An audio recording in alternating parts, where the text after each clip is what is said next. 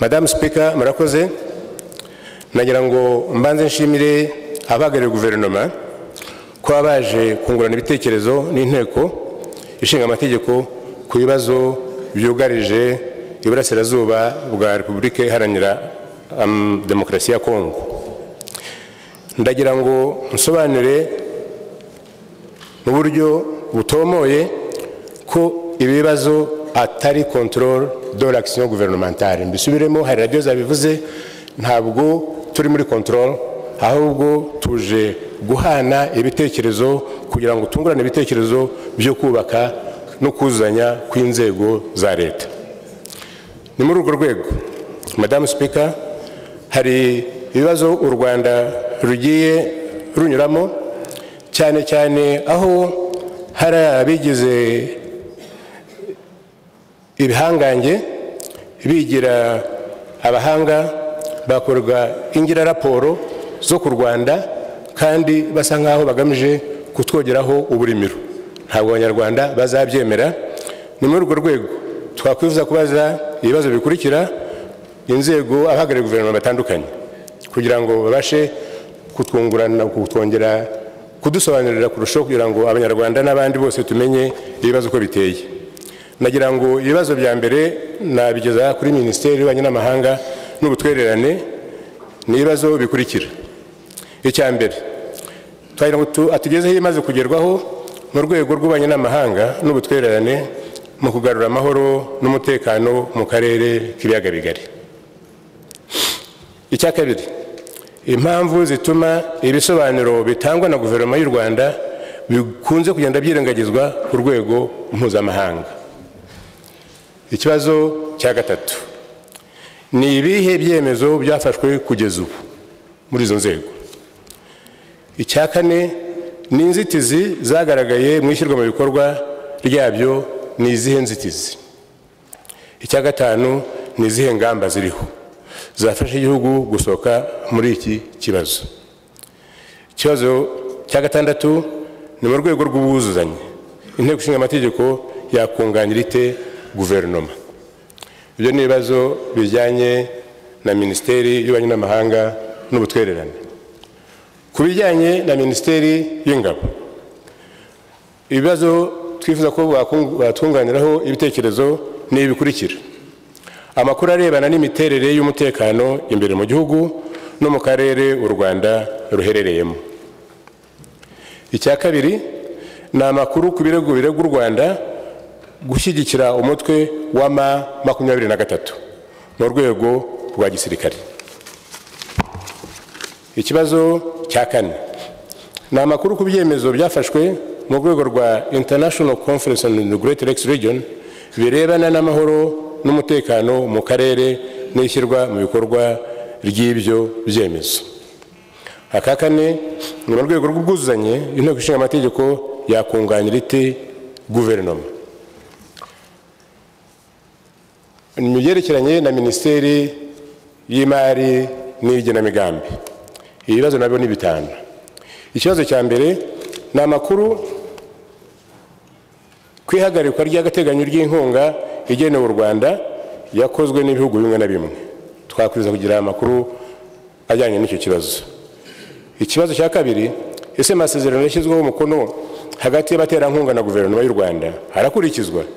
N'ibyo bihugu mu ihagarikwa ry'inkunga icya gatatu ingaruka ku gihugu cyacu ni izihe? Icya kane ni ingamba u rwanda rufite no kuzahangana n'icyo kibazo zaba ziteye zite? Icya nyuma banyakubahwa ni mu rwego rw'ubwuzuzanye inteko ishinga amategeko yakunganira iki guverinoma? Twakwishimira kungurana ibitekerezo kuri ibyo bibazo. Murakoze. Urakoze nyakubahwa.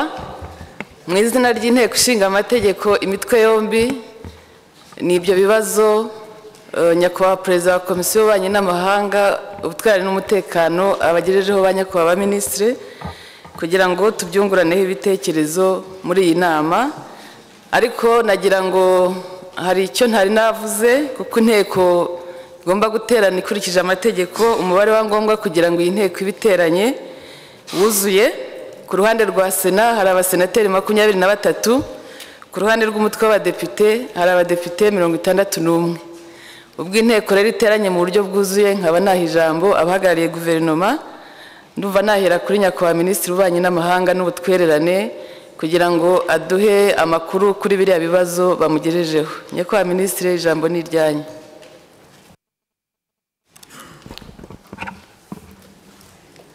murakoze. Nyakubahwa sipika ba nyakubahwa bayobozi b'inteko mwese imitwe yombi ba nyakubahwa badepite basenateri bagenzi banjye ba minisitiri turi kumwe hano mwese muteraniye hano. Mbanje gushimira inteko uyu mwanya yaduhayeho kugira ngo twicarane dusangire ibitekerezo tuganire turebe uburyo iki kibazo cy'umutekano muke mu burasirazuba bwa repubulika iharanira demokarasi ya kongo. Turebe uko twagisohokamo ndetse dukomeze dufatanye n'akarere kugira ngo amahoro agaruke mu buryo burambye muri iki gihugu cy'abaturanyi. Icya mbere nakwifuza kuvuga ni uko iki kibazo cy'umutekano muke muri kongo igipande gituranye n'u rwanda ntabwo ari ikibazo gishyashya. Ni ikibazo kimaze imyaka ndetse gishingiye ku mateka y'icyo gihugu n'aka karere cyane cyane icyo kibazo kuva bamwe mu bakoze jenoside mu rwanda bahungiye aho ngaho mu burasirazuba bwa repubulika iharanira demokarasi ya kongo cyafashe iyindi sura kirutaho gukomera. Muribuka yuko muri iyi myaka myinshi ishize kuva muri mirongo icyenda na kane u rwanda rwagiye rugirana ibibazo na leta ya kongo bishingiye ku banyarwanda bakoze amahano muri iki gihugu bahungiyeyo. Nkaba nanibutsa yuko uko imyaka igenda usanga ahubwo isi yaribagiwe n'icyatumye ibibazo bikomera.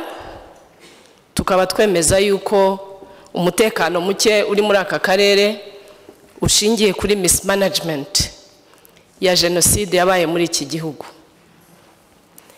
Icya kabiri navuga na cyo dukurikije ibikorwa byinshi ndi buvuge mu kanya byagiye bikorwa kugira ngo ari u rwanda ari n'abandi baturanyi ba repubulika iharanira demokarasi ya kongo tubashe kubona amahoro ni uko kino kibazo kijyanye n'amateka kirasa n'ibindi twabonye mbere twumva rero nta mpamvu yatuma kino kibazo kitarangira. Icyo twifuza ni uko kirangira burundu.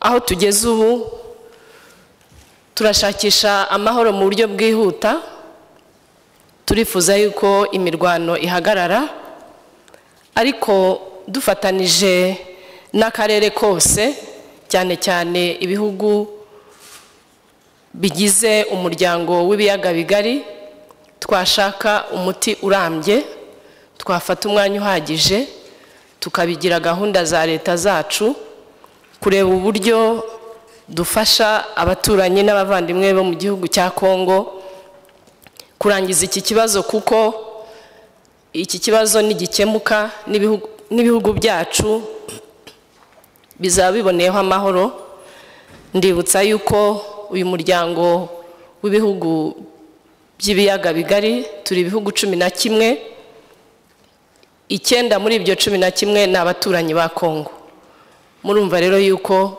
twese dukeneye amahoro. Mbanjirije ku byakozwe bimaze kugerwaho mu rwego rw'ububanyi n'amahanga n'ubutwererane.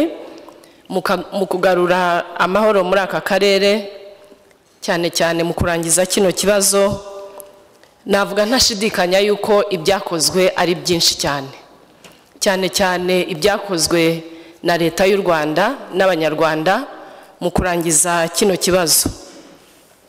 Muribuka yuko eh, umutekano muke nubwo hari ubwo ushira ukongera ukagaruka. Ibi bibazo turimo muri iki gihe byatangiye mu kwezi kwa kane. Ubu tugeze mu kwezi kwa cumi na kabiri. Aya mezi yose iki kibazo twagihaye priority. Twagishyize mu bibazo bya mbere byigwa muri minisiteri y'ububanyi n'amahanga ndetse n'izindi nzego za leta dukorana mu bijyanye n'ububanyi n'amahanga. Ibyo byose dukora twagezeho tukaba tubikora tuyobowe mu bitekerezo na nyakubahwa perezida wa repubulika y'u rwanda nawe wagize uruhare rukomeye mu gukomeza kutugira inama no kudutera inkunga mu kazi ka buri munsi tukaba tunamushimira uruhare yagize mu kuzana ibisubizo kuri iki kibazo cyo muri congo.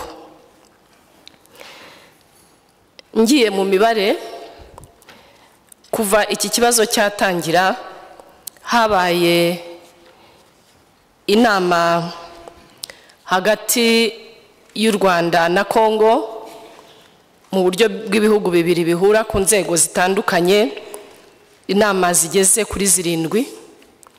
Habayeho inama z'abakuru b'ibihugu zitateguwe ah, zigeze kuri eshanu.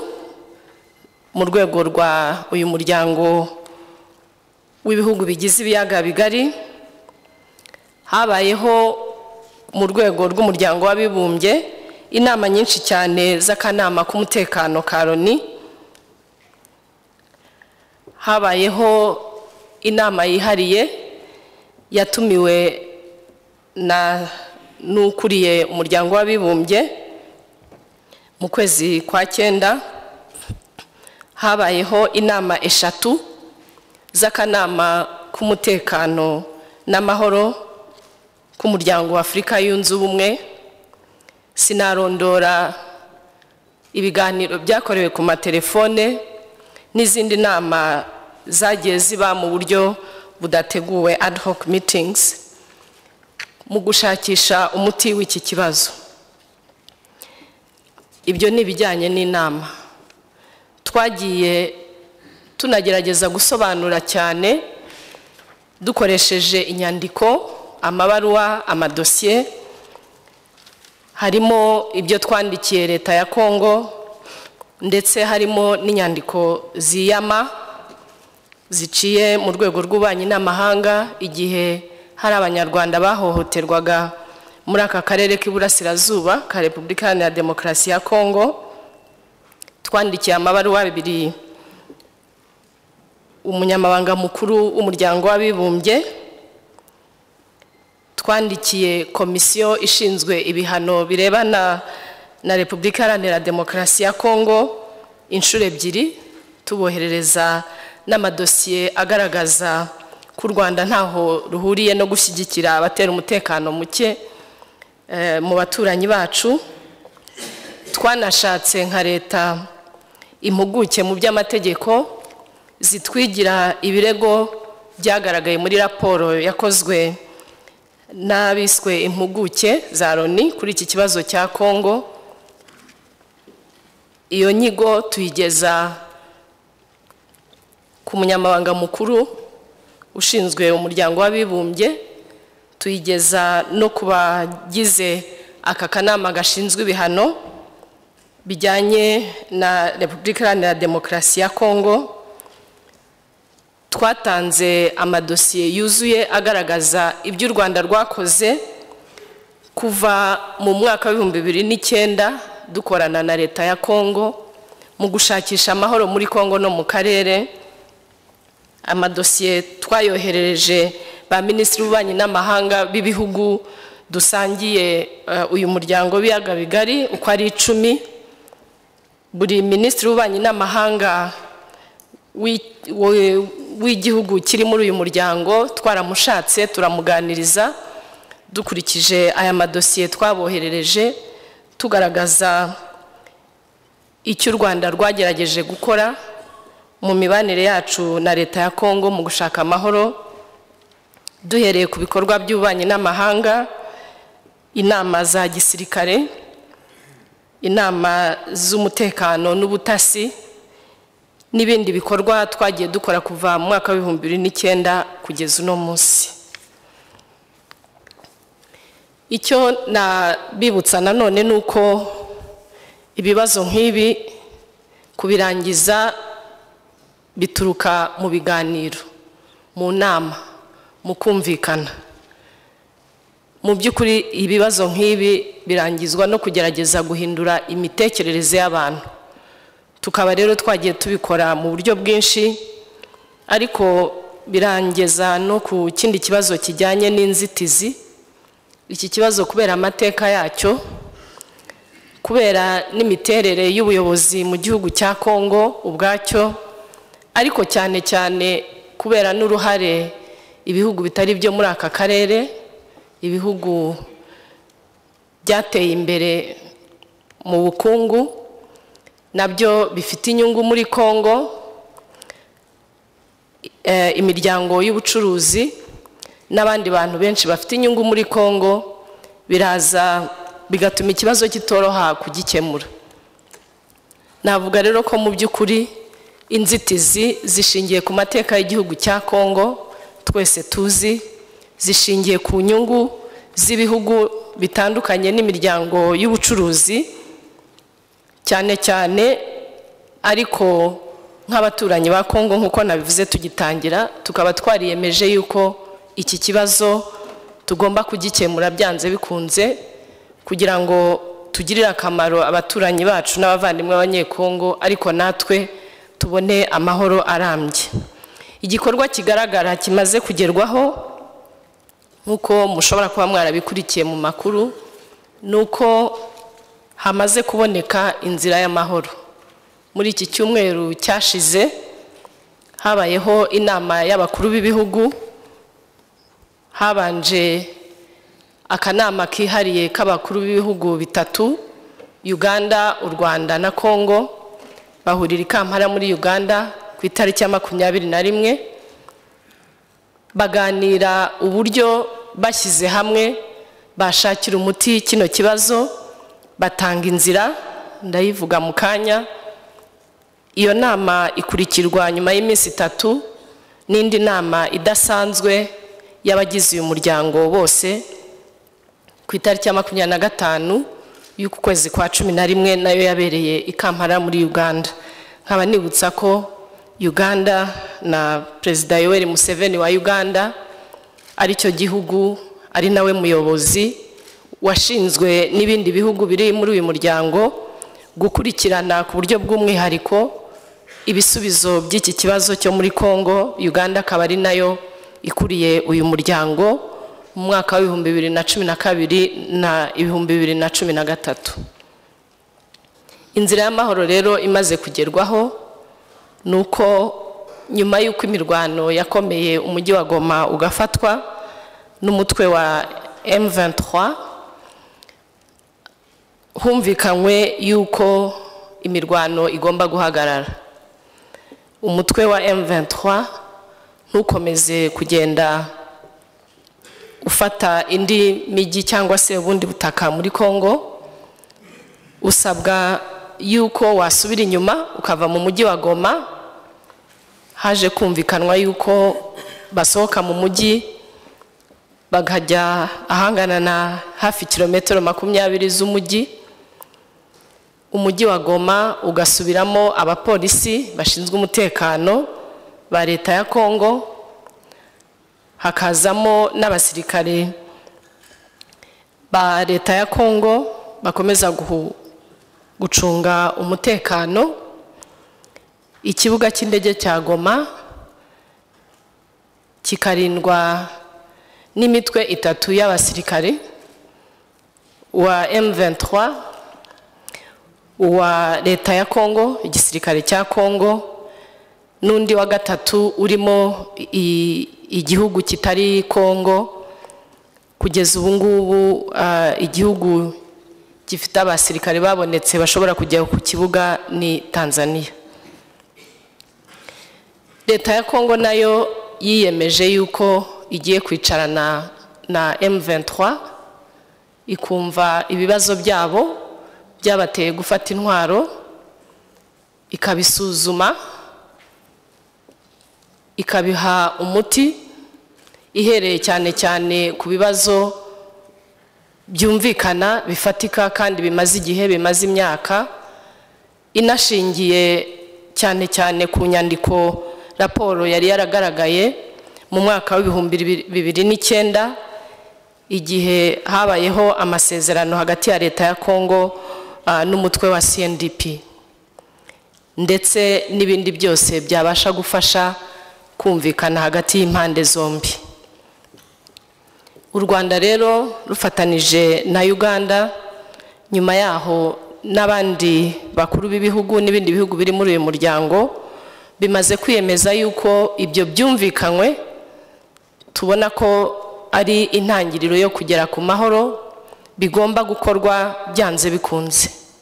Ni ukuvuga ko kuva mu cyumweru gishize buri wese amaze gufata ingamba z'ibyo agomba gukora turakomeza gukurikirana yuko impande zombi zikora ibyo ziyemeje ndetse natwe nk'abagize uyu muryango w'ibiyaga bigari tugakomeza kurebera hafi yuko nta cyahungabanya aya masezerano hagati y'impande zombi kugira ngo tubashe kugera ku nzira y'amahoro.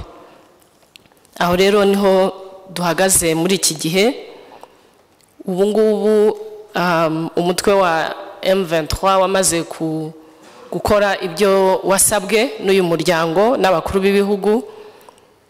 Leta ya kongo iratumenyesha yuko imaze gushyira hamwe agatsinda kazajya mu mishyikirano kuganira na M23 muri uganda ni ho iyo mishyikirano izabera ni ho ibyo biganiro bizabera.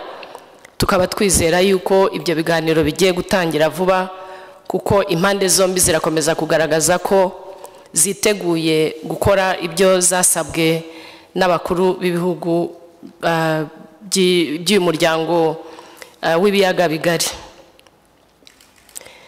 Ibyemezo byafashwe rero kugeza ubu ni ibyemezo bikubiye muri aya masezerano yabanje kuganirwaho mu buryo burambuye hagati y'abaperezida b'ibihugu bitatu uganda rwanda na congo nk'uko twabivuze. Buri wese mu bari muri leta ya congo ndetse n'abari muri uyu mutwe wa M23 tukaba tubona ko ibi byemezo bagomba kubikurikiza turabona ko ariyo nzira yihuse y'amahoro nubwo hari n'ibindi bizakomeza kuganirwaho bijyanye no kurangiza iki kibazo burundu dushingiye ku byo tuzi ku mateka kandi ibihugu byose bigakomeza gushyigikira leta ya kongo n'abandi baganira na leta ya kongo kugira ngo tugere ku mahoro vuba. Inzitizi rero nigeze kuzikomozaho mu kanya ni inyungu zitandukanye z'ibihugu z'imiryango y'ubucuruzi ni amateka atoroshye ya leta ya kongo y'igihugu cya kongo cyanyuzemo mu myaka myinshi cyane. Ariko kubera ko twebwe nk'abaturanyi ba kongo twumva ko kuzana amahoro mu burasirazuba bwa kongo ari inshingano yacu kandi yihutirwa turabishyiramo ingufu zose kugira ngo amahoro aboneke ndetse ibiganiro bijyanye n'imiti yindi yatugeza ku mahoro arambye n'umutekano muri aka karere yakomeza. Ahangaha mu rwego rw'ububanyi n'amahanga twanifuje ko abagize akanama k'umutekano n'igisirikare muri ibi bihugu byacu uko ari cumi na rimwe cumi na kimwe amasezerano ndetse n'inzira yo gushakisha uburyo imitwe y'abarwanyi iri muri aka karere yose yahagarika kurwana kugira ngo ibihugu bigire amahoro cyane cyane ibiganiro akanama k'abagize umutekano n'igisirikare cy'ibihugu byacu ko ari cumi na kimwe yabereye hano i kigali mu kwezi kwa cyenda mu mwaka w'ibihumbi bibiri na cumi. Ayo masezerano yasubirwaho bagasubira inyuma bakareba uko ibikorwa byose byazana amahoro bishingiye gukura mu nzira iyi mitwe ya gisirikare cyane cyane mu gihugu cya kongo kuko ni myinshi cyane. Imwe ivaho hakavuka iyindi hari imaze imyaka myinshi cyane. Izo ngamba zafashwe na bagenzi bacu bashinzwe umutekano na gisirikare tukifuza yuko bazisubiramo kugira ngo ibyo bemeje mu mwaka w'ibihumbi bibiri n'icumi bishyirwe mu bikorwa. Birasobanura rero yuko ah, aya masezerano yabaye hagati ya leta ya kongo n'umutwe wa M23 tugomba gukora uko dushoboye kugira ngo ashyirwe mu bikorwa he kugira usubira inyuma tubashe kujya ku mahoro arambye. Ingamba zafasha igihugu cyacu gusohoka muri iki kibazo mu by'ukuri ni imishyikirano ni engagement. Gukomeza kumvisha abantu ari abaturanyi ari abanyamahanga ya kure yuko u rwanda atari rwo rwateye iki kibazo turimo ko u rwanda rutigeze ruhembera iki kibazo ahubwo ko u rwanda nk'uko twabigaragaje mu kanya rwakoze ibishoboka byose kugira ngo abaturanyi bacu bo muri repubulika iharanira demokarasi ya kongo babashe kugera ku mahoro. Ibi rero tukabikora cyane cyane twifashishije inyandiko um, imigenderano gukomeza gusangira ibitekerezo ariko cyane cyane tugaragaza ko nk'u rwanda tudashobora kwemera yuko ibibazo bimaze imyaka by'igihugu duturanye byashyirwa ku rwanda nk'aho ari rwo rwateye ibyo bibazo. Ikindi ni uko nk'u rwanda dukomeza gukora ibishoboka byose kugira ngo twumvikane na leta ya kongo Mu- muzi yuko muri iyi minsi ishize hagiye haba ibikorwa by'abagizi ba nabi bambuka bagana mu rwanda bavuye muri leta ya kongo Ba- bakaba ari aba bakoze amahano ya jenoside mu rwanda bagahungira muri kongo ubu ngubu bakaba barahawe impamvu cyangwa se agahenge n'izi ntambara ziri muri aka karere hafi y'umupaka wacu bigatuma rero bashaka kwinjira ku butaka bw'u rwanda mugenzi wanjye minisitiri w'ingabo arabibasobanurira neza. Twabyifashemo neza nk'igihugu twasanze imirwano ihari itakongerwamo n'indi mirwano ahubwo dushakisha uburyo twarinda neza imipaka yacu tukiyama abo bagizi ba nabi tugashakira abanyarwanda umutekano ariko ibyo bidahagaze u rwanda nanone rwakwirwanaho.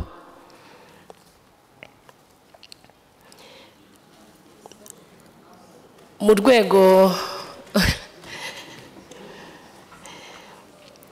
nagira ngo nongere mbashimire mu rwego rw'ubwuzuzanye hagati y'inteko ishinga amategeko na guverinoma ibyakorwa ni byinshi cyane.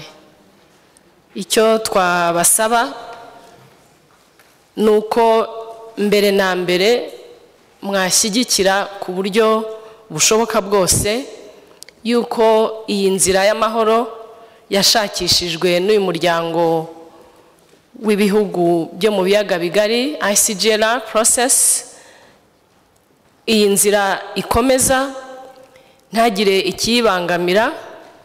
Turasaba rero yuko uh, mu bufatanye hagati y'inteko na guverinoma mukoresheje amashyirahamwe murimo n'ibindi bihugu mukoresheje uh, parliamentary diplomacy mukoresheje uh, abo mukora umwuga umwe mu bindi bihugu inshuti buri wese akora uko ashoboye ku buryo iyi nzira y'amahoro yumvikanyweho idahagarara. Kuko ihagaze byadusubiza inyuma cyane kuruta aho twari turi ndetse bigasubiza inyuma kubona inzira y'amahoro arambye. Ibyakorwa rero ubwo twazabiganiraho mu buryo bwihariye cyangwa burambuye na komisiyo ishinzwe ububanyi n'amahanga ariko cyane cyane turasaba yuko ICGLR process ikomeza igashyigikirwa n'ibihugu byose.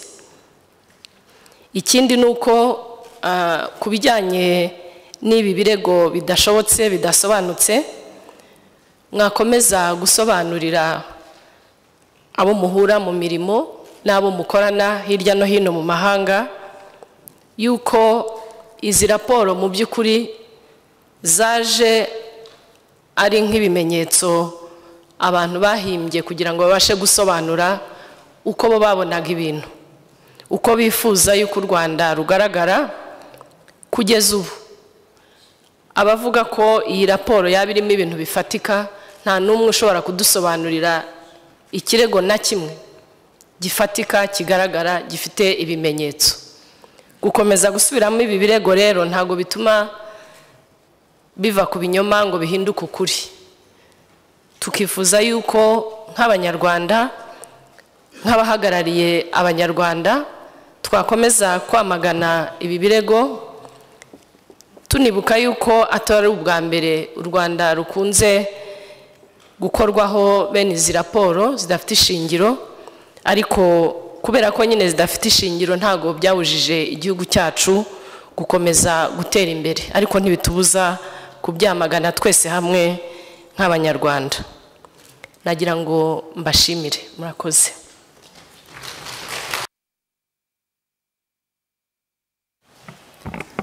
Murakoze nyakubahwa minisitiri w'ububanyi n'amahanga ku bisobanuro muduhaye birambuye bishingiye no ku by'inteko yari yifuje kumenya bijyanye n'ibyakozwe mu rwego rw'ububanyi n'amahanga. Ijambo noneho twariha nyakubahwa minisitiri w'ingabo nawe kugira ngo atubwire ibyakozwe muri urwo rwego. Nyakubahwa minisitiri ijambo ni iryanyu. Murakoze nyakubahwa perezidante w'inteko ishinga amategeko nyakubahwa perezida wa sena ba nyakubahwa ba visi perezida ba nyakubahwa ba senateri n'abadepite turabashimira kuba mwaduhaye umwanya kugira ngo tuganire iki kibazo cyane cyane bishingiye ko namwe mwifuza kugira uruhare mu kugira ngo eh, kibe cyakemuka. Eh, ku bibazo ngomba gusubiza ndaza kugerageza kubisubiza ariko nasobanura kugira ngo birusheho kumvikana. Ku bijyanye n'umutekano muri rusange mu karere no mu gihugu cyacu umuntu yavuga ko umutekano muri rusange umeze neza. Nta kibazo usibye iki kibazo cy'umwihariko tuvuga hakurya cyo muri congo muri aka karere u rwanda ruri mu muryango wa east african community ugizwe n'ibihugu bitanu kenya tanzania uganda u rwanda n'uburundi bibanye neza cyane. Bibanye neza hari byinshi dukorana mu rwego eh, rw'ingabo ari eh, ubufatanye mu kwigisha ari defense and eh, security protocol defense protocol dufitanye ari ibikorwa byinshi cyane na military joint exercises tugenda dukora. Ibi bihugu bitanu rero bigize umuryango wa West African Community bihagaze neza nta kibazo. Ku kibazo kijyanye na DRC ari cyo twibandaho uyu munsi hari ikibazo gishingiye ku kibazo kiri muri DRC ubwayo bwite ariko kikitirirwa u Rwanda. Umuntu aha yavuga ko nubwo hari icyo kibazo cyitirirwa u Rwanda n'amahanga ndetse na DRC ariko ntabwo amayira afunzwe hagati y'u Rwanda na DRC kuba baganira icyo kibazo cyangwa batanga umusanzu twatanga umusanzu kugira ngo na cyo gikemuke nk'uko minisitiri w'ububanyi n'amahanga aba- mu twererano bivuze nanjye ndaza kubisubiraho. Kuri iki kibazo cy'umwihariko cy'umutwe wa M makumyabiri na gatatu cyitwirirwa u Rwanda. Natangira mvuga ko icya mbere nta ruhare na rumwe u rwanda cyangwa se ingabo z'u rwanda zagize mu gushinga uwo mutwe cyangwa se kugira ngo uwo mutwe ubeho. Nta ruhare na rumwe ingabo z'u rwanda zagize cyangwa se u rwanda rwagize kugira ngo uwo mutwe ukomeze kubaho. Icyo ni ikibazo ni cyo tugomba guheraho. Ikibazo kikaza kuba kubera iki ni impamvu ki zi- zituruka he kugira ngo umutwe ukomeze kwitirirwa u rwanda? Abakomeza kwitirira u rwanda icyo kibazo cy'umutwe wa makumyabiri na gatatu harimo ibice byinshi cyane.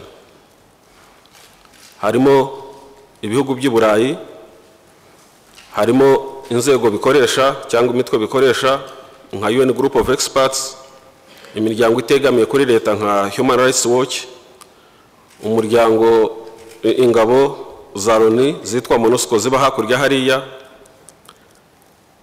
bishingiye ku nyungu zabo bwite nk'uko minisita wa foreign affairs yabivuze.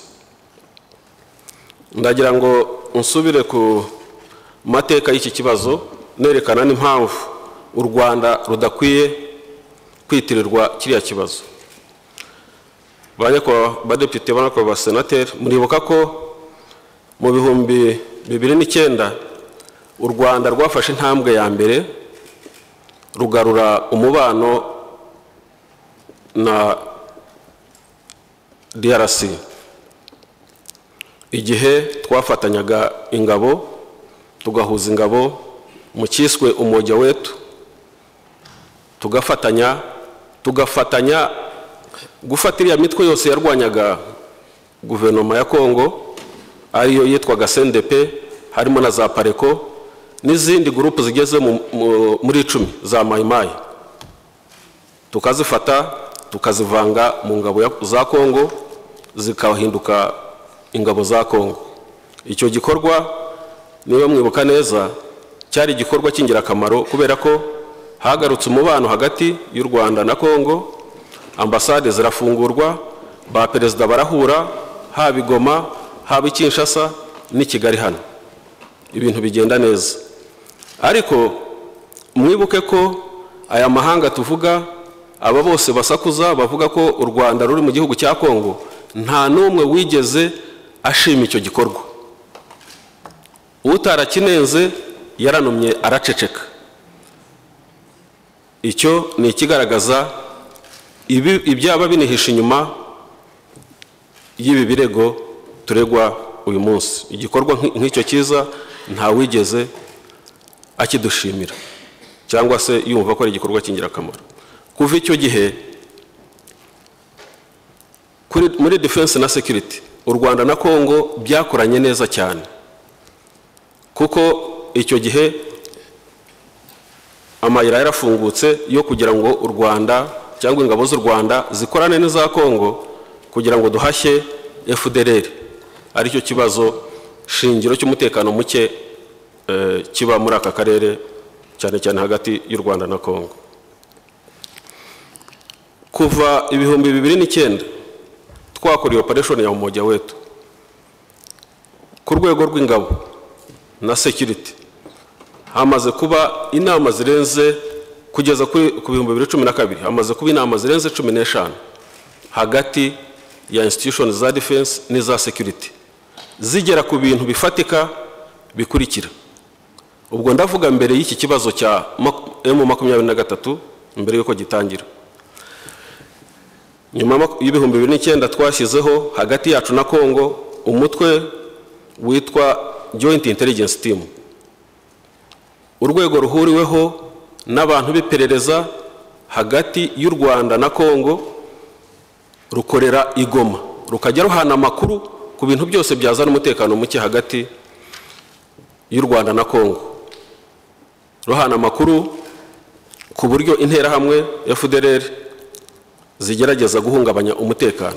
Urwo rwego rwagumye igoma kuva ibihumbi bibiri n'icyenda. Kugera uyu munsi. Ntabwo rwigeze ruvayo. Rukorana na guverinoma ya kongo sinibaza ko abantu bashobora gukorana muri urwo rwego rw'iperereza bari hamwe bashobora gutera abandi cyangwa ngo babagirire nabi. Ni ibintu bitumvikana. Hari ibintu abatanga ibirego bose birengagiza bikwiye gusesengurwa. Uru rwego rwa joint intelligence team ni rwo rwaje kubakirwaho mu bihumbi bibiri na cumi na rimwe mu kwezi kwa cyenda mu nama ya defense na security yabereye i kigali hano. Igize ibihugu bigize umuryango w'ibiyaga bigari cumi na kimwe. Twagura iyi timu ya intelligence ijyamo n'ibyo bihugu byose yitwa intelligence fusion cell. Iyo intelligence fusion cell iracyari igoma irahakorera no muri ibibazo byose irahari. Ishinzwe gukusanya amakuru ajyanye n'ibibazo by'umutekano. Iri mu bihugu cumi na kimwe. Iyo joint intelligence fusion cell ntabwo irigera irega u rwanda kandi ari ishinzwe gushaka amakuru. Hashyizweho mu bwumvikane bwacu na guverinoma ya kongo imitwe y'abasirikare bihariye yitwa special forces. Abasirikare magana abiri na mirongo itanu b'u rwanda n'abasirikare bangana nabo ba kongo barajyana. Bajya muri kongo barahakorera kuva ibihumbi bibiri cumi na rimwe. Bagumayo bahashya fdr ku buryo akarere barimo ka rucuru umutekano waragarutse bigaragarira buri muntu wese n'aya ma- n'aya mahanga na monusco ihari barabibonaga ko umutekano wagarutse hariya. Emu makumyabiri na gatatu yatangiye abo basirikare bacu ba special force bavanze n'abakongo babana muri defense imwe babana. Twarezwe ko dufasha emu makumyabiri na gatatu tubana n'abasirikare ba kongo muri ako karere ka rucuru dufatanya kurwanya fdr abo basirikare baje kuvayo mubizi byaragaragaye ngira ngo mu kwezi kwa munani ni bwo bavuyeyo ku mugaragaro ibibazo bimaze kuba byinshi ibirego bimaze kuba byinshi dusanga ntacyo bimaze kugumayo. Bavayo baherekejwe banazana n'ingabo za kongo bafatanyaga batandukanira hariya ku mupaka. Baraherekezwa n'ingabo za kongo zibageza ku mupaka zibasezeraho. Ntabwo waba urwana n'igihugu ngo mujye mu bikorwa bimeze gutyo. Ibyo byose ni ibintu tugomba eh, kuzirikana. No gusobanukirwa. Kuva icyo gihe ibihumbi bibiri n'icyenda kugeza ibihumbi eh, bibiri cumi na kabiri aho ibirego bitangiriye emu makumyabiri na gatatu itangiye. Haje kujyaho umutwe twise joint verification mechanism ugamije kureba hagati y'u rwanda na kongo ese ibyo birego bishingiye hehe? Uwo mutwe wabaye muri kongo muri ibi bihe byose emu makumyabiri na gatatu irwanira hariya n'ubu uracyahari. Uwo mutwe waje kubakirwaho wongerwamo abandi bagize uyu muryango w'ibihugu cumi na kimwe eh, w'akarere k'ibiyaga bigari. Ibihugu cumi na kimwe nabo bazanamo abandi tuyita expanded joint verification mechanism. Barahari. Joint verification mechanism ishinzwe kureba ibibazo aho bituruka. Ntabwo joint verification mechanism irimo ibihugu cumi na kimwe. Harimo n'u rwanda na kongo n'ibi bihugu byose cumi na kimwe. Ntabwo urigera urega u rwanda n'umunsi n'umwe muri raporo utanga. Ubwo tugomba kumenya izo raporo zituruka he zica he zishingiye he? Ndagira ngo noneho by'umwihariko nsobanure uko eh, iyi emu makumyabiri na gatatu yatangiye n'uruhare defense na security nk'ingabo twagize mu kugira ngo dufashe bagenzi bacu b'abanyekongo kugira ngo iki kibazo kirangire kitagombye kuba intambara nk'uku eh, yagenze.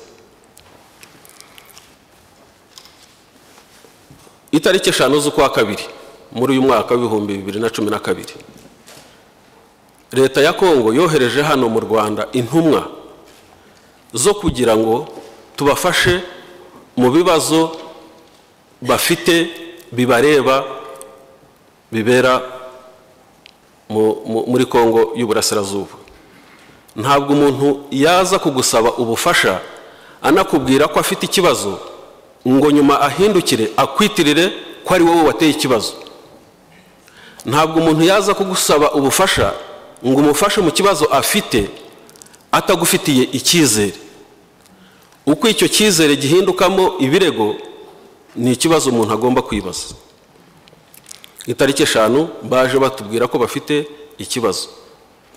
Batubwiraga ko bafite ikibazo cy'uko bashaka gukura abasirikare babo bari muri FARDC mu ngabo z'igihugu bavuga ururimi rw'ikinyarwanda kugira ngo babakure muri kivu babajyane mu maprovinsi yandi ya kongo icya kabiri batubwiye ko bafite ikibazo cy'amahanga abasaba gufata no gufunga muri icc umujenerali wabo witwa bosco ntaganda.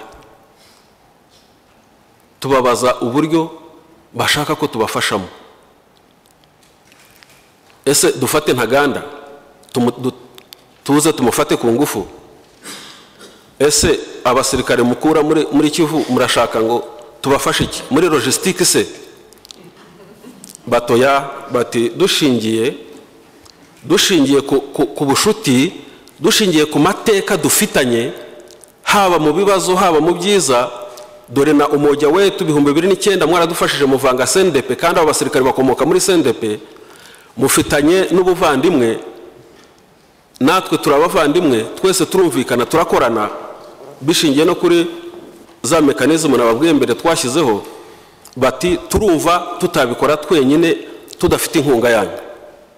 Tuti murashaka ko tubikora gute? Tuti mugende mubyigweho muzaze mutubwire. Itariki mirongo itatu z'ukwa gatatu ibihumbi bi- eh, bibiri cumi na kabiri baragaruka. Bati noneho twabyizeho turashaka ko dufata bamwe muri bariya ba- ofisiye dushaka bayobora abandi tukabazana rubavu tukaganira nabo tukabumvisha ko bagomba kwemera kuva muri kivu bakajya ahandi. Uruhare rwanyu dukeneye kuko tuziranye ari mwe ari twe ari bo twakoranye muri izi gahunda zose z'umutekano wenda nimwongeraho ijwi ryanyu barabumva. Tuti nta kibazo. Tuti mushyireho itariki. Bashyizeho itariki tariki umunani z'ukwa kane. Ibihumbi bibiri cumi na kabiri. Bazana abo ba ofisiye bazana koroneri sultani makenga ubu ni generali uko twumva. Bazana koroneri zimurinda. Bazana koroneri faustin muhindo baza bari hamwe bambukana umupaka. Tubakira bari hamwe. N'uwitwa koroneri jean claude yave n'uwitwa karevi ukuriye sekirite n'uwitwa koroneri diyuru n'abandi. Baraza barambukana umupaka turabakira. Tubaha umwanya baraganira hagati yabo. Bamaze kuganira hagati yabo twebwe tubagira inama. Mu byo baganiriye twasanze harimo ubwumvikane bukeya. Ndetse bushyira mu gushyamirana. Tubagira inama ko badakwiye gukoresha imbaraga ahubwo inama tubagiriye yo kuganira no gukemura ibibazo bitararenga inkombe bakumvikana. Uruhande rumwe rwabo bahoze muri sendepe basabaga ko bafite ibibazo bumvikanyeho na guverinoma bitakemutse ko badashobora kwemera kwimuka kuva muri kivu. Bavuga muri bike makeya ndavuga muri make bavuga impunzi zabo zimaze imyaka irenze cumi n'indi zidataha kubera umutekano muke uba muri kivu. Bati ntitwasiga imiryango yacu mu buhungiro ngo tujye mu yandi maporovensi urundi rugero rukomeye batanze bavuze ko batizeye uko bafatwa n'itotezwa n'ihohoterwa mu ngabo bavanze nabo za kongo bati na hano muri kivu aho tuvangiye baratuvangura. Muratuvangura. Ntimutwemera. Bati n'urugero abasirikare mirongo itanu ngo babahaye mu bihumbi bibiri na cumi ngo bibe urugero barebe ko bajya ahandi. Ngo badiporoyinze ahantu hitwa dungu mu majyaruguru ya kongo abo basirikare bara- barayibagezeyo iryo joro bose barapfa. Guverinoma ngo ntigeze ikora nkete ntigeze itanga raporo impamvu abo basirikare bishwe. Bati ntidushobora kuva muri kivu. Tubona ibibazo bikomeye. Tubagira inama. Tuti rero nimukoreshe inzira yo kumvikana. Tubereka impungenge z'inzira yo kurwana no gukoresha ingufu gukura bariya basirikare hariya. Tubereka ko ari ibintu bidashoboka. Tubereka ko natwe impungenge dufite. Icyo gihe twavuze ko tudashyigikiye intambara. Ko tutayemera nk'inzira yo gukemura ibibazo tubereka inzira yo kumvikana. Tunemera ko tubafasha muri iyo nzira yo kumvikana. Kugeza igihe cy'aho abasirikare wenda bazemerera bakagenda bakajya mu- yandi maprovensi ariko hatabayeho ibibazo by'intambara. Tubereka impungenge twari dufite z'uko iyo bagiye mu ntambara hagati yabo ubyungukiramo ari tuti twebwe twari tumaze gutera intambwe hagati y'u rwanda na kongo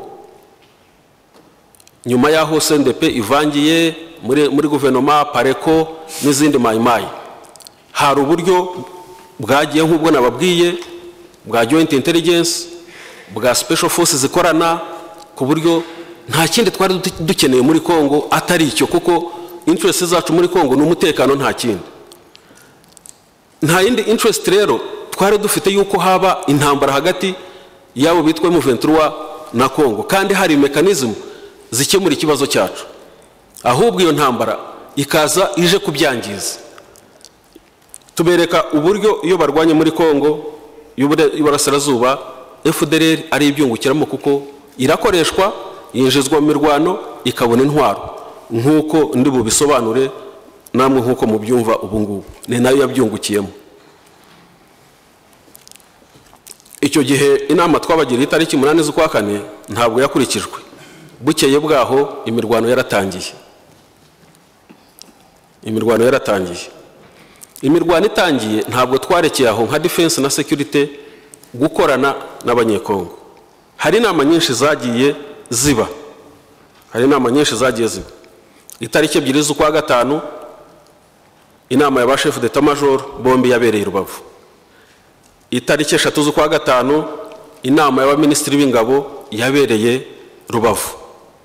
Itariki cumi n'ebyiri z'ukwa gatanu inama y'abaminisitiri b'ingabo yarongeye ibera rubavu. Muri iyi nama y'itariki cumi n'ebyiri z'ukwa gatanu guverinoma ya kongo yadusabaga ikintu kimwe. Yaradusabye iti dore M23 irakomeye irakomeza igira imbaraga. Nimureke twongere tujyane muri kongo tujyane muri kongo nk'uko twajyanyemo ibihumbi bibiri n'icyenda. Mukadufasha gukemura ikibazo cya cya sendepe munafata nkunda. Nimureke twongere tujyanemo duhere runyoni turababwira tuti se twebwe ahubwo twajyana muri kongo duhera amasisa ahari fdr kuki mushaka ko buri gihe tuzahora duhera aho mufite ikibazo cyanyu? Iki kigomba kumvikana neza. Nta kuntu umuntu yaza kugusaba ngo ugende umukemurire ikibazo mu buryo bw'intambara ngo yongere akurege ko ari wowe ufashe iyo ntambara. Ntabwo yaba agufitiye icyizere agusaba ko ujya kumufasha kumukemurira icyo kibazo ngo yongere avuge ngo ni wowe ugitera. Ubwo muraza kugenda mureba ukuntu ibyo byose byitwa ibirego byagiye biza. Itariki cumi n'umunani kugeza kuri cumi n'icyenda. I kigali hano hateraniye inama y'abaminisitiri b'ububanyi n'amahanga abaminisitiri ba internal affairs abaminisitiri ba defense n'aba chef d'état major icyo gihe cyose nta kibazo hagati yacu na kongo bazaga badusaba ubufasha. Natwe tukabasezeranya tukabagira n'inama. Itariki makumyabiri na zirindwi z'ukwa gatanu z'uyu mwaka. Hongeye haba inama hano muri minafeti na yo irimo delegation y'abaminisitiri ba kongo itariki makumyabiri n'icyenda habaye inama rubavu y'abaminisitiri ba chef d'état major itariki cumi n'umunani kugeza cumi n'icyenda z'ukwa gatandatu ibihumbi bibiri cumi na kabiri habaye inama na yo i Kinshasa irimo ba chef d'état major iyobowe na minisitiri wa foreign affairs. Ubwo ni Kinshasa ni Goma ni Rubavu ni Kigali. Urujya n'uruza. Tugerageza gukorana n'abaturanyi bacu gukemura icyo kibazo. Inama zarakomeje itariki makumyabiri n'umunani z'ukwa gatandatu itariki icyenda z'ukwa karindwi kugeza no muri uku kwezi eh, kwa munani. Ukwezi kwa gatandatu gutangira ni bwo haje kuza ibintu by'ibirego. Biradutangaza. Icya mbere bidutangaza kubera ko twarakoranaga buri cyumweru twakoranaga mu gukemura ikibazo. Nta birego byari byarakavuzwe. Guhera mu kwa kane makumyabiri na gatatu umutwe utangira intambara. Twibaza impamvu baje kuvuga ibirego mu kwezi kwa gatandatu gushira. Ariko ibyo byose byari byaturutse ndibaza mu kubera ko umutwe wa makumyabiri na gatatu wagendaga ugira imbaraga uko barwana ugira imbaraga uko barwana ugira imbaraga. Ari abagize urwo ruhare mu kuwutangiza bashakaga gufata bosco ntaganda botsa igitutu guverinoma ya drc ari monusco iri hariya ishinzwe umutekano hariya ikaba yarananiwe kuko yarwanaga ku ruhande rwa leta. Ari za human rights watch niyo miryango yose itegamiye kuri leta ihora itoteza u rwanda abo bose na kariya gatsiko kitwa un group of experts batangira gutekereza uko bahimba ibinyoma babeshyera u rwanda n'ingabo z'u rwanda. Mu guhimba ibinyoma babihimbye nabi cyane. Ku buryo akenshi twagendaga tubimenya tugahamagara inzego z'umutekano n'iza defense muri congo tukababwira impamvu barimo guhimba ibyo bintu. Na raporo itarasohoka. Byose twabaga twabaga twabimenye. Ibi byose rero eh, byaje kugaragara ko ikibazo cya M23 n'ikibazo cyo kurega u Rwanda kirenze kuba hagati y'u Rwanda na Kongo harimo izindi force zibiri inyuma nk'uko Minister wa Foreign Affairs yaje ku- kubigaragaza. Ibirego rero barega u Rwanda. Ni agahomamunwa kubera ko n'umuntu w'umuswa usibye ko abangaba bitwa ngo ni group of experts nta muntu ushobora ibirego bimwe urabibona ukibaza n'impamvu byemerwa ku rwego rwa UN Security Council. Ukabona ukwirengagiza kurimo na byo bikakuyobera. Icya mbere abo bantu bagize UN group of experts bayobowe n'umuntu witwa Steve Hegg uzwiho kuvugira FDLR akabishyira no mu nyandiko. N'uburyo yatoranyijwe kuba ari we uyobora iri tsinda.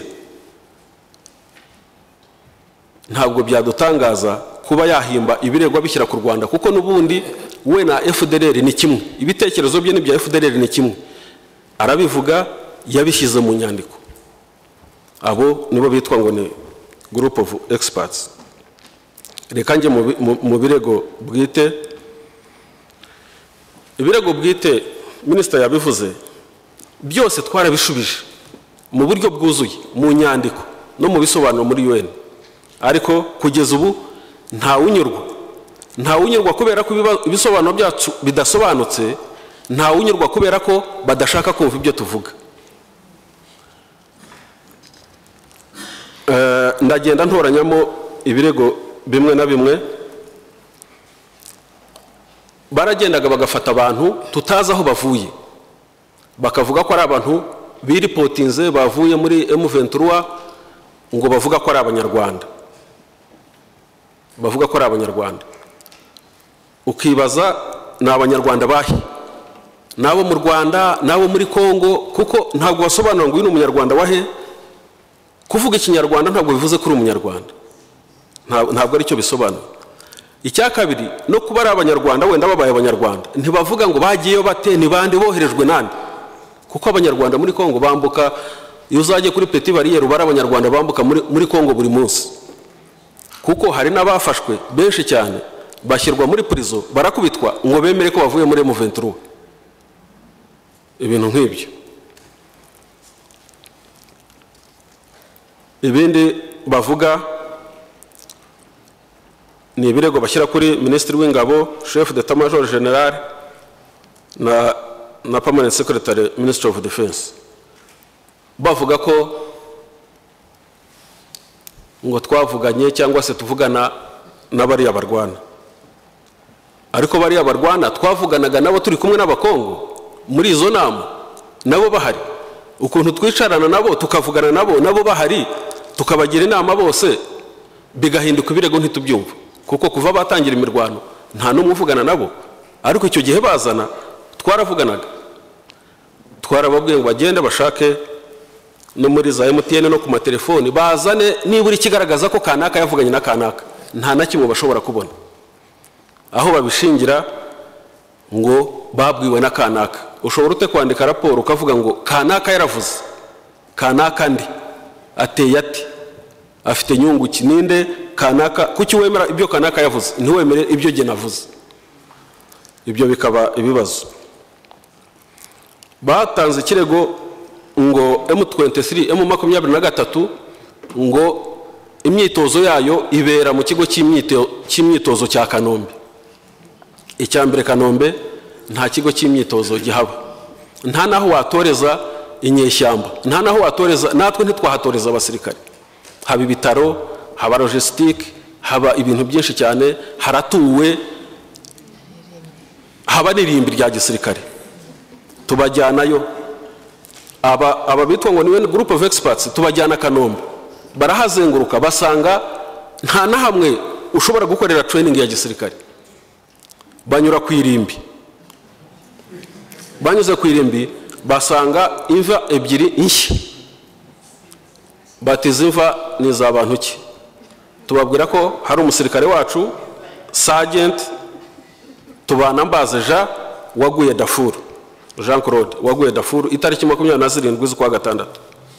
N'undi waguye south sudan. Tuti nibo bashyinguye hano. Bagiye bavuye aho bandika raporo ko babonye imva nshya zishyinguwemo abantu baguye ingabo z'u rwanda zaguye kongo ibyo se wabisobanura gute? Umbwira uko wasobanura ibyo ngibyo. Umusirikare wacu yarapfuye arazwi ashyinguwe hariya n'izina rye ryanditseho ku musaraba azwi ko yari dafuru undi ari south sudan bakagenda bakandika raporo ngo yaguye ibonagana ni bene ibyo birego. Bazana ibindi birego birimo amafoto y'imbunda na za inifomu bazitirira bazitirira ngo ni ibya rdf ngo babibonanye M23 none se M23 yose yambaye inifomu za rdf zanditseho rdf ko twambara inifomu n'idarapo n'iki byose? Ese inifomu yaba imwe cyangwa ebyiri? Twese ko dukorana n'abanyekongo ya special force yacu y'abanyekongo y'abanyarwanda n'abanyekongo muri rucuru. Iri rucuro yambaraga inifomu y'abanyekongo. Ntabwo twambaraga inifomu zacu. Uko abacu bambaraga iz'abanyekongo ni nako abanyekongo bambara izacu. No muri umujya wetu abanyekongo twabahaye inifomu nabo n'abacu bakabaha inifomu bitewe n'aho bagiye koparatingira tubereka ko ibyo bya inifomu imwe wabonye ngo isa n'iyacu kuko na inifomu zose zirasa. Twese tugura mu bushinwa abakongo bagura mu bushinwa u rwanda rugura mu bushinwa. N'ubu M23 muri iyi minsi niba mwarabonye amateleviziyo twumvise ko yaguze inifomu mu bushinwa aho kongo igura aho u rwanda rugura kera twaguraga muri utegisi rwa twarabihagaritse kuko baduhenda. Ibyo bya inifomu na byo ugashaka umuntu ufite ubwenge kuko umuntu ufite ubwenge ushobora gukora investigation agacukumbura ukibaza ibyo ari byo bikakuyobera. Baza kurega gutanga ibirego ngo generale jack nziza ngo yavuye muri minisiteri y'ingabo ngo yimukira i musanze mu kinigi ngo ni we yashyize etamajoro yo kuyobora urugamba rwa rwa M23 icya mbere permanent secretary ntayobora urugamba. Mu ngabo zifite na chef d'état major bangahe? Babishinzwe. Ibyo baje kubitubaza permanent secretary aragenda kuko abantu binjira muri minisiteri y'ingabo buri munsi barandikwa. Abereka guhera mu kwa kane buri munsi abantu bamusuye harimo n'abazungu. N'inama yakoresheje buri munsi buri munsi. Urupapuro arushyira aha abereka ko buri munsi yari muri minisiteri y'ingabo kuko buri munsi nta muntu utamusura nta ni- nta n'inama adakoresha. Tuti se umuntu yaba ari aha akaba ari n'ahandi mu gihe kimwe. Ibyo byose babirengaho bandika raporo yabo ngo barashinja.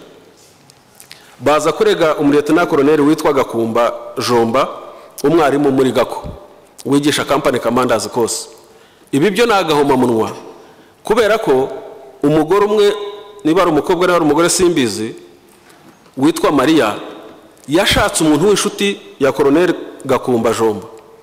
Ati ndashaka ngo unjyane unyereke aho jomba ari e ati ndahaza atariga ko arigisha. Baramuhamagara kuri telefone. Bajyaga ko baramusura arabasengerera arabakira. Arangije bagiye mariya amushyira muri raporo ko ari bunagana arimo kurwanira M23 jomba agakumba yerekana amasomo kuko iyo wigisha utegura amasomo ukanayigisha bikandikwa no mu gitabo abo wigishije. Guhera mu kwezi kwa kane kugeza uyu munsi amasomo yigishaga umunsi ku munsi. Ari mu field ari mu kirasi ibyo byose barabyirengagiza. Ikindi kirego ngo n'imbunda babonanye M23 ngo zirimo imbunda yitwa 75 mm recoils ngo itaba mu ngabo itagirwa n'ingabo za FARDC aka nako ni agahomamunwa kubera ko muri raporo y'ibihumbi eh, bibiri n'umunani muri raporo y'ibihumbi bibiri n'umunani UN Group of Experts yari yarasohoye raporo ivuga ko CNDP yateye ikigo cya Rumangabo igakuramo imbunda nyinshi zirimo na 75 mm recoils noneho muri iyi raporo iza kurega ko yabonye 75 mm recoils ngo kandi itaba muri FARDC kandi yari yaratanze raporo ivuga ko CNDP yari yarazikuye Rumangabo. Ukibaza niba buri mbunda yose ya 75 mm recoils igomba kuva no mu Rwanda kuko nta nubwo tuzikora. Uretse ko tuta- tutanazigira nta n'izo tugikoresha. Ibyo na byo bikakuyobera. Haza kuza noneho ikirego cya rurangiza. Haza umukapiteni ngo bafashe witwa ngo ni uwa rdf amazina ye ngo ni kapiteni sadat janvier. Shada- sadat janvier ngo bamufatiye mu bice bya rucuro ngo ni ofisiye wa rdf bamujyana i goma baramubaza bandika raporo ko ari umusirikare wa rdf iyo raporo na yo iba ikirego. Tuza gukurikirana dusanga rdf nta musirikare tugira witwa kapiteni sadate janvier ntawe tugira n'umwe. N'abo tugira nta n'umwe urugira ujya rucuro cyangwa bunagana. Turakurikirana ubwacu ndetse tubifashijemo n'inzego za kongo ubwabo z'abasirikare babo. Tuza gusanga uyu kapiteni janvier sadate baturega ari ofisiye wa frdc ingabo za kongo ufite identity card namba rimwe gatandatu gatandatu icyenda kane kabiri zeru umunani icyenda kabiri zeru mu ngabo za frdc ubarirwa muri kompanyi yitwa sikoyi muri batayo ya mbere ya rejima ya magana inani na karindwi. Ari umusirikare wa frdc bamwita umusirikare w'u rwanda bamushyira muri raporo baramuturega. Ibi bimenyetso byose bigaragaza ko ari umusirikare wa kongo ubwo se ibyo birego nk'ibyo n'izi mpuguke za group of experts icyo cyonyine ibyo twagiye tuvuga ni iki n'ibindi byose. Ibi bibagira impuguke bituma raporo yabo nyine yemerwa nka raporo y'aba expert. Ubwo expert bwabo buremewe. Ukibaza impamvu yo kugerageza guhimba n'ibidahimbika n'ibidahimbika ukanabihimba nabi uri bufatwe ugafatirwa mu cyuho ukabyitirira u rwanda. Bati turabarega ko mu mirwano ya bunagana abantu bumvise abasirikare baharwanye bavuga icyongereza. Icya mbere icya mbere wanavuga icyongereza ntiwakivugira muri kongo ntiwanakivugira bunagana. Wavu- wavuga icyongereza nibura wajya kenya ukakivuga. Cyangwa ukajya uganda ukavuga icyongereza. Wajya kongo ukavuga n'icyongereza ukibwira ndetse. Usibye ko n'abasirikare bacu badakoresha icyongereza. Abasirikare bacu bakoresha ikinyarwanda. Na siri officers bacu benshi nta n'icyongereza bazi nta nubwo command language yacu ari icyongereza. Ariko noneho murebe contradiction. Muri ibi birego bya vuba ejo bundi mwabyumvise no kuri bbc baza gushyiraho abantu ngo muri south kivu i bukavu bavuga ko ngo ari umutwe u rwanda rwashakaga kurema wo kurwanya leta. Wundi utari M23 ariko abo bashyizeho bashyiraho abantu bavuga icyongereza no kuturusha. Bisobanura mu cyongereza bavuga ukuntu ngo u rwanda ngo umukoroneri witwa manzi ngo ari we wabatumye kujya kurwanya leta. Nta koroneri manzi uba muri rdf nta n'umwe. Ariko noneho bavugaga n'icyongereza. None se ko ari abakongo bavuga icyongereza kandi bakaba baraturegaga ko bunagana bumvise abantu bavuga icyongereza. Izo zose ni contradictions. Ziba zirimo. Barongera bateje ubundi ahangaha muri iyi raporo no mu gitondo bbc nabyumvise. Ngo rdf mu gufata igoma ngo rdf ifata igoma ngo harimo ingabo z'u rwanda. Mwumve kwivuguruzanya kurimo. Eh? Ah, M23 M23 ifata igoma ngo harimo RDF ariko niba mwarakurikiye amakuru mwarakurikiye amakuru eh, umukuru w'ingabo za MONUSCO MONUSCO force commander w'umuhinde yarivugiye ubwe.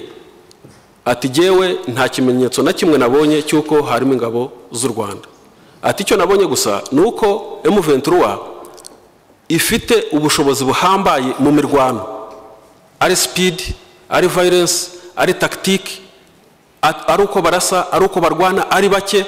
Ati byantangaje kubona bagira ubushobozi bungana kuriya ati ariko nta ngabo z'u rwanda nabonye. Raporo iza ivuga ngo ingabo z'u rwanda magana atanu ngo zagiye gufata gufasha M23 mu gufata goma.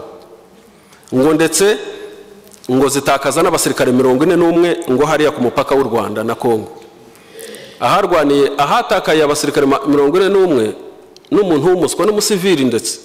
Ahagiye gupfa abasirikare mirongo ine n'umwe haba hakomeretse eh, nka magana abiri cyangwa se magana atatu.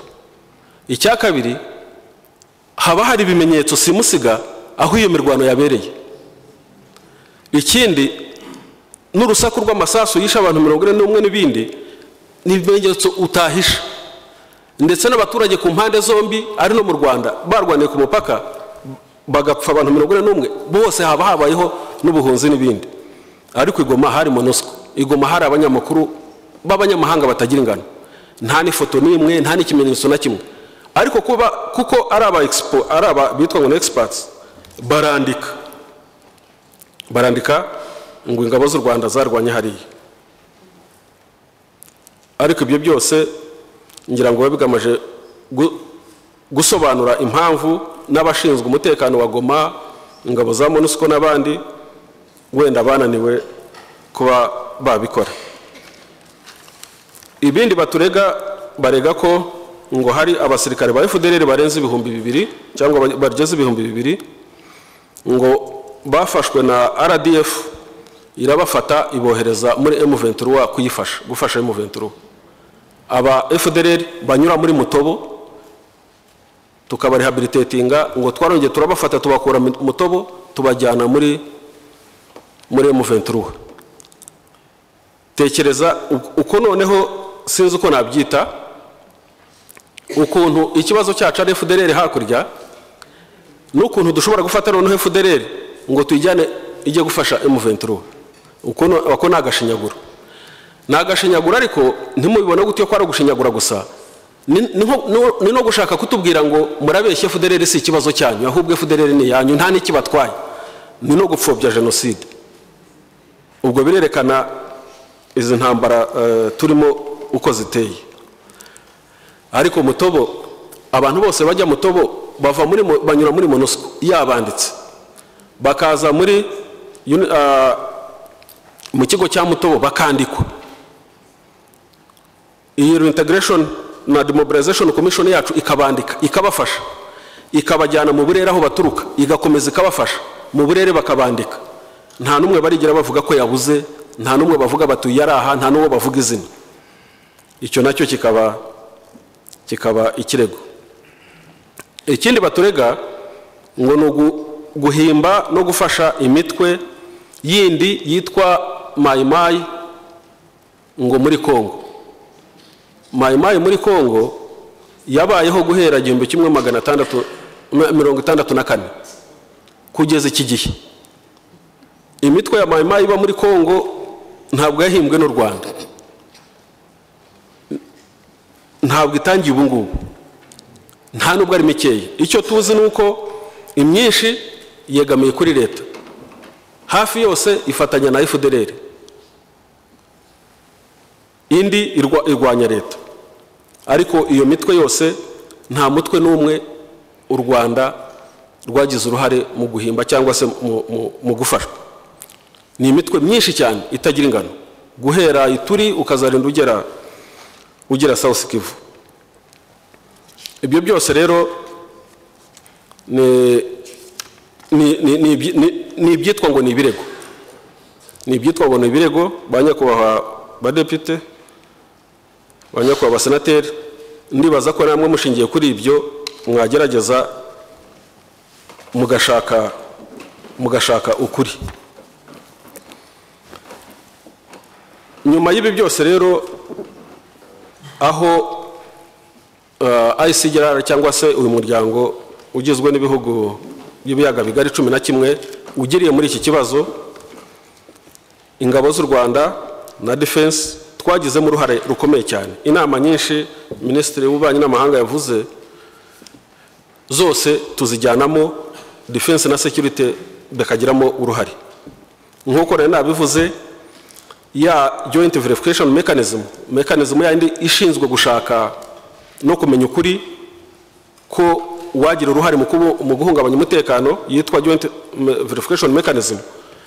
Noneho muri ICGRR twebwe nk'u Rwanda twasabye ko yaba expanded hakajyamo ibyo bihugu cumi na kimwe. Byarakozwe. Hagiyeho icyitwa military assessment team.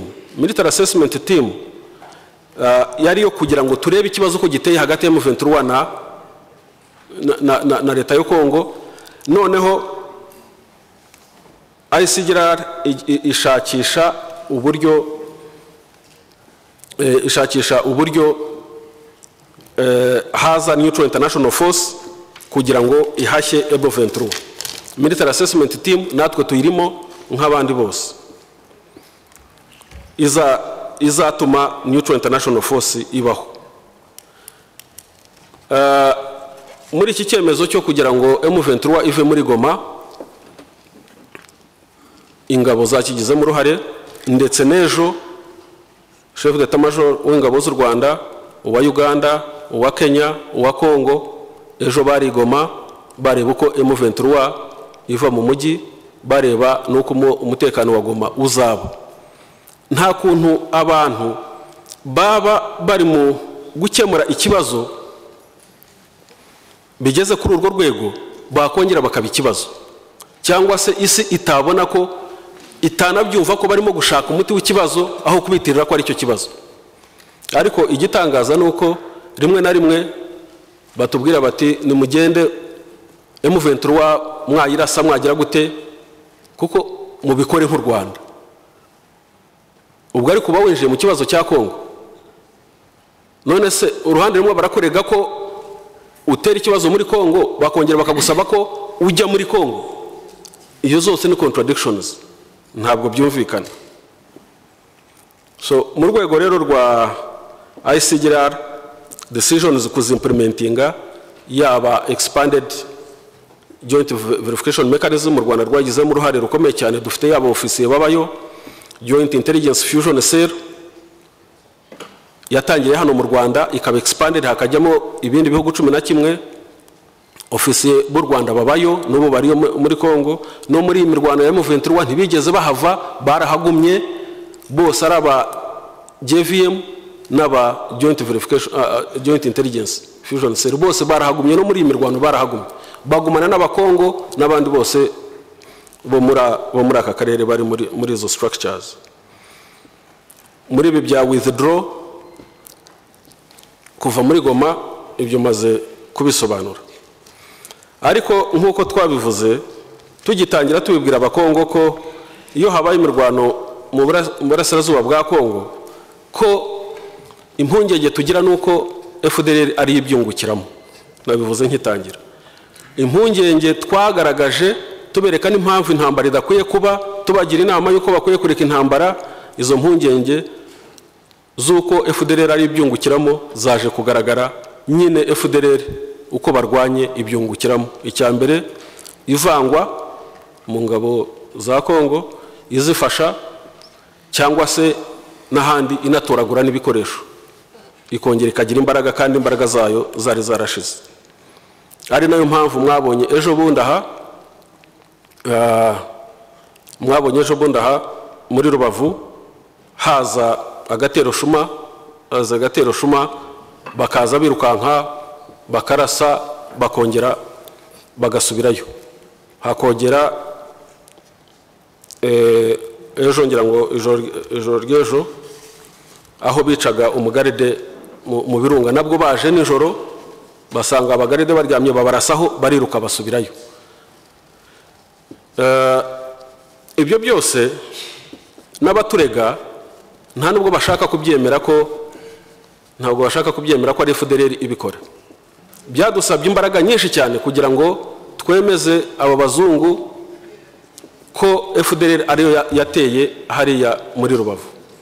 Ahubwo bakavuga ko ngo nitwe twiteye ngo nitwe twiteye turirasa ngo noneho kugira ngo tubone impamvu zo kujya muri kongo ntabwo wakwirasa kugira ngo ubone impamvu zo kujya muri kongo. Ntugomba kubanza kwirasa.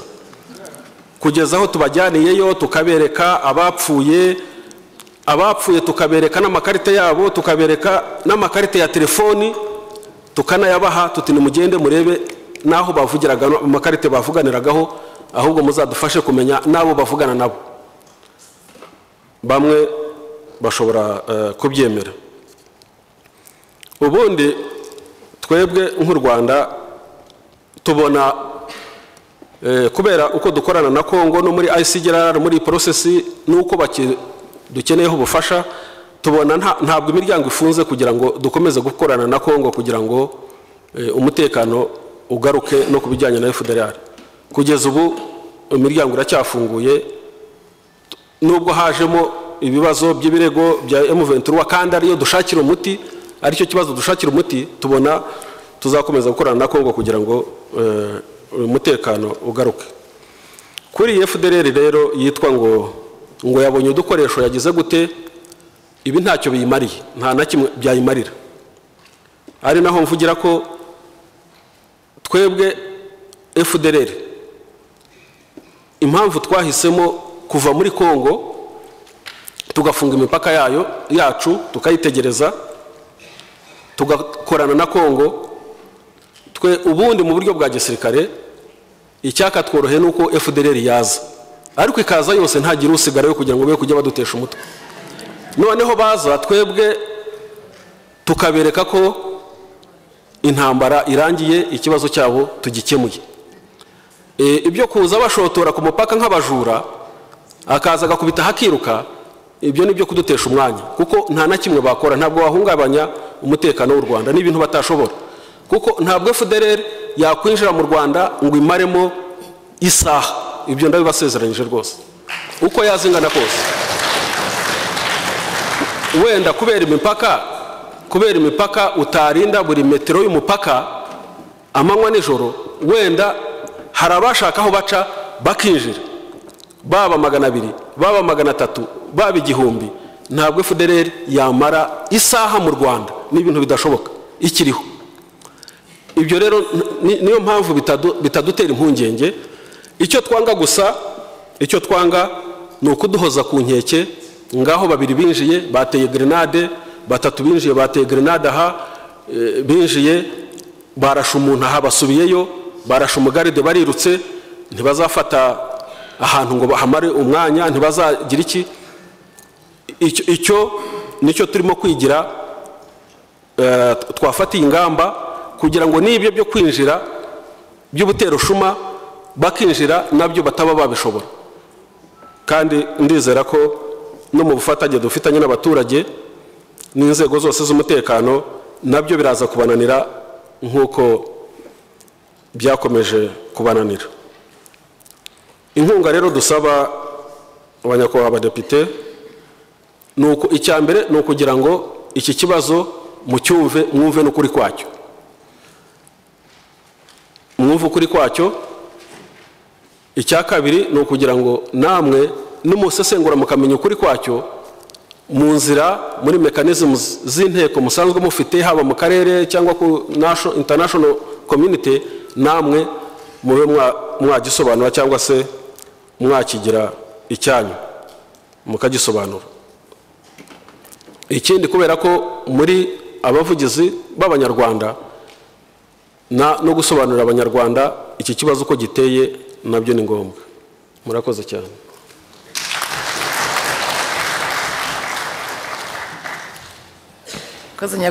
Nyakubahwa minisitiri w'ingabo ku bisobanuro namwe muduhaye byiyongera ku byo kwa minisitiri w'ububanyi n'amahanga yari yatanze hasigaye ikibazo ibibazo nanone eh, bikeneyeho amakuru atangwa na nyakubahwa minisitiri w'imari n'igenamigambi kubera no guhagarika inkunga n'ingaruka bifite ku iterambere ry'igihugu. Kwa minisitiri eh, ijambo ni iryanyu.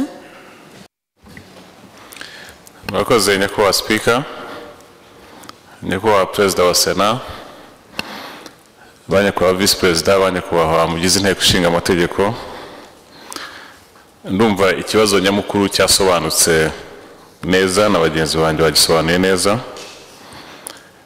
Eh, uko kigenda kitugiraho ingaruka byinshi babivuze icyo nakwibandaho ni ku bibazo byabajijwe ku bigendanye n'umubano dufitanye n'ibi bihugu biduha imfashanyo. Ingaruka ibi byagize ku- kuri uwo mubano wacu. Mpereye ku kibazo cya mbere eh, mwavuze aya makuru agendanye n'ibyavuzwe by'imfashanyo yahagaritswe. Wenda nasubira inyuma gato nko mu kwezi kwa karindwi ni bwo byatangiye ndumva eh, twarigeze kubivuga hano. Bitangira raporo ari kimara gusohoka. Ikiri icyo twita draft ari iki?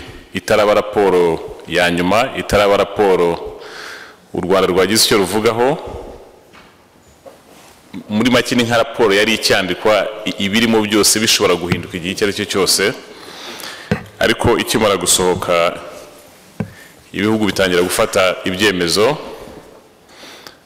Eh, icyo gihe habaye netherlands german sweden. Nibo babitangaje. Ikindi wenda bugaruke kuri cya kirimo wabaje mutesa ama- amasezerano dufitanye nabo arubahirizwa. Babitangaje natwe twabibonaga mu binyamakuru. Eh, hanyuma ubwongereza nabwo tuza kugirana ibiganiro ariko bo ntibabigaragaza ko bihuye n'ibi bi- bivugwa muri congo ahubwo n'abavuga ko ibigendanye n'amasezerano du- duhuriyeho agenga ubufatanye bwacu bakerereza amafaranga bagomba kuduha mu kwezi kwa karindwi. Eh, aha ibindi byagaragaye icyo gihe ni uko african development bank banki nyafurika itsura amajyambere na yo ya- yagomba gufata icyemezo ku mafaranga twagombaga guhabwa muri uyu mwaka bayazanye mu nama y'ubuyobozi yabo dosiye ntiyatambuka kubera ibyo bihugu by'i burayi byayibangamiye. Eh, ni uko byatangiye bitangira twumva ari ibintu eh, tuzaganira nabo bizarangira vuba. Ndetse icyo gihe bigikorwa twarabandikiye twarabandikiye ofishe tubagaragariza icyemezo bafashe ko ki- kinyuranyije n'amahame agenga ibya aid amahame mpuzamahanga twumvikanyeho ashingiye ku byo ibyo tujya twita ngo ni paris declaration bivayo bikagera kuri inama ya nyuma ya busan yabereye muri korea umwaka ushize. Ariko bigashingira no kuri ku byo twita partnership agreement. Ubwo bari iki kibazo cya mbere ndagisubiriza hamwe n'ikibazo cya kabiri kuba amakuru agendanye ni n'ibivugwa by- by- by'inkunga yahagaritswe cyangwa yatindijwe niba koko byaranubahirije n'amasezerano dufitanye nabo. Eh, icyo gihe twarabandikiye mu kwezi kwa karindwi tubereka ko ibyakozwe binyuranyije nyine n'ayo mahame mpuzamahanga ariko binyuranyije noneho n'amasezerano dufitanye nabo ayo twita eh, partnership agreement ku ahuza leta y'u rwanda n'abaterankunga bose baduha amafaranga ajya mu ngengo y'imari icyo twita budget support. Ikindi yanasobanura mu ikubitiro ni uko amafaranga yagiye agira ibibazo muri ibi byo guhagarikwa n'iki? Ni amafaranga twita budget support. Amafaranga anyuzwa mu ngengo y'imari ataje ku mushinga runaka. Hari icyo twita general budget support.